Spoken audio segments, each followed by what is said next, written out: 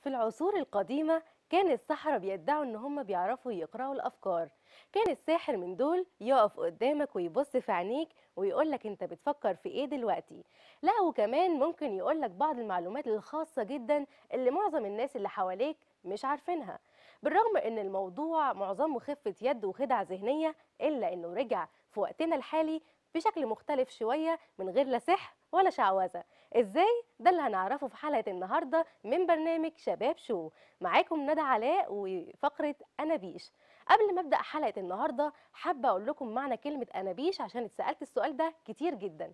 انابيش جاية من فعل نبش اي ينبش عن الشيء نبش. وفقرتنا هننبش عن المعلومات الخفية ونقولها لكم في فقرة انابيش سؤال فقرة النهاردة هو إزاي الفيسبوك بيعرف أنا بفكر في إيه وبتكلم في إيه ويقولهولي أو يعرضهولي في صورة إعلانات.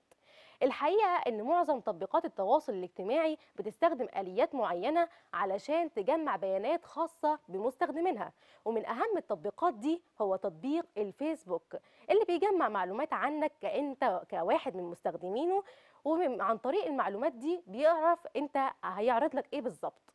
طيب بيجمع المعلومات دي إزاي؟ أقول لك يا سيدي أول حاجة ممكن يعرض لك بيها المعلومات أو يجمعها منك عن طريق الشات.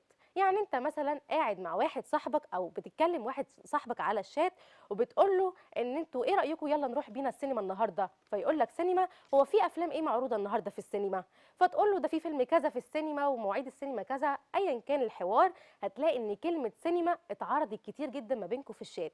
فيعتبر الفيسبوك بياخدها ككلمة مفتاحية وبيبتدي يعرف إن أنت مهتم بالسينما أو عايز تروح السينما فيعرضها لك في صورة إعلانات.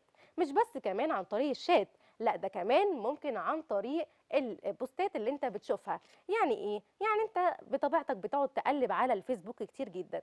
بيستوقفك منشور معين أو post معين بتفضل تقرأ فيه وتعرف المعلومات لأنه شدك أو المحتوى اللي فيه شدك بمعنى أصح.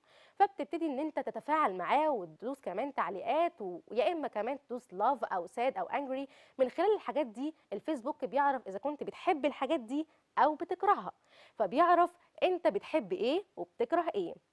هتيجي وتقول لي دلوقتي طب أنا واحد ممكن أكون حاطط التليفون على جنب واصلا مش بفتح الفيسبوك وأكون بتكلم مع حد جنبي في حاجة وبعدها أفتح الفيسبوك ألاقيه بيقول لي أو بيعرض لي إعلان عن الحاجة اللي أنا كنت لسه بتكلم فيها.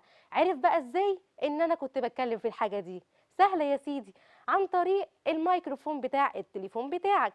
عن طريق الميكروفون بيقدر إن هو ياخد الكلمة اللي أنت بتكررها كتير ككلمة مفتاحية وبيعرضها لك في صورة إعلان. مش بس الميكروفون كمان عن طريق الموقع أو ال location بتاعك. الموقع بيعتبر أداة مهمة جدا الفيسبوك عشان يجمع معلومات عنك. عن طريق الموقع يقدر الفيسبوك يقولك أنت ساكن فين كمان يعرف مكان شغلك فين وكمان يبقى عارف أنت بتحب الأماكن اللي تروحها فين بالظبط وإيه أقرب مكان ليك والكلام ده كله. فيجمع بيانات خاصة بيك ويقدر من خلالها إن هو يعرض لك إعلانات خاصة بالموضوع ده سواء قريبه من المكان دوت نفسه أو المحتوى اللي في المكان اللي حواليك. ايا كان عايزه أقول كمان نقطة مهمة بخصوص الموقع ودي اللي هختم بيها الفقرة بتاعتي.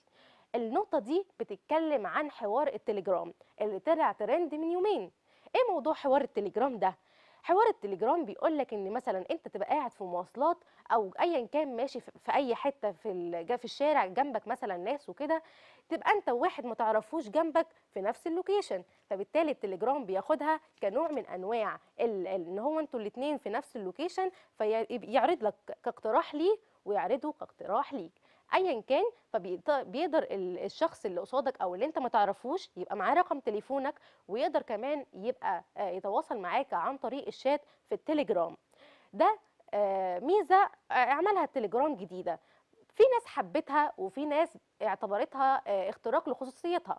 لو أنت واحد من الناس اللي اعتبروها اختراق لخصوصيتهم سهل جدا إن أنت تلغيها. تلغيها إزاي؟ عن طريق الإعدادات بتاعة التليفون بتاعك. هتخش على الموقع الجغرافي للتليفون وتحدد التطبيقات اللي مسموح لها إنها تخش أو توافق على الموقع الجغرافي أو تستخدمه بمعنى أصح ليك. فبالتالي مفيش أي اختراق لخصوصيتك والله عايزها تاخد الموقع الجغرافي بتاعك مفيش مشكلة. مش عايزها برضو مفيش مشكلة. كمان آخر كمان آخر برنامج معانا أو حاجة عايزة أعرضها لكم هم برنامجين ممكن تنزلهم من Google Play اسمهم Mic Block وكمان Camera Block. البرنامجين دول من خلالهم تقدر إن أنت تمنع الفيسبوك من إن هو يستخدم ال- الكاميرا أو الميكروفون بتاعك في أي حاجة ليها علاقة بيك. يعني ما يقدرش ياخد منك معلومات عن طريق الميكروفون أو حتى ياخد معلومات عن طريق الكاميرا. وبكده تكون حميت نفسك من الاختراق أو آه، من اختراق خصوصيتك بمعنى أصح. دي كانت معلومات النهارده من أنابيش. لو انت عندك سؤال معين حابب نجاوب لك عليه فقرة من فقرات أنابيش ابعته لنا على صفحة برنامج شباب شو وإحنا هنجاوبه لك في فقرة أنابيش الجاية.